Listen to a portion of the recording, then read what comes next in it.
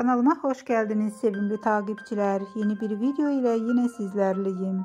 Videoma geçmezden önce emeğe saygı olarak videomu beğenmeyi, bildirim butonunu açık tutmayı ve kanalıma abone olmayı lütfen unutmayın.